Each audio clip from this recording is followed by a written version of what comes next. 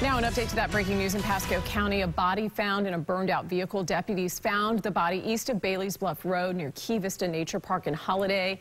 We don't know much about the victim at this point, but Eagle 8 HD just got to the scene. They're bringing us these live images. And you can see, obviously, an active crime scene. Lots of detectives and sheriff's office crime scene technicians there.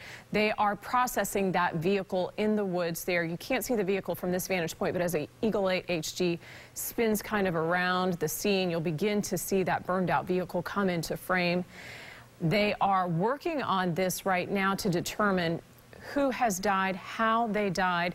In the meantime, there was another scene where a gentleman was combative with deputies and taken into custody. We don't know if those two situations are connected, but a lot going on in Pasco County at this hour as we begin to learn more about both situations and whether or not they are connected. We will certainly bring you updates both on air and online, as well as on our WFLA app.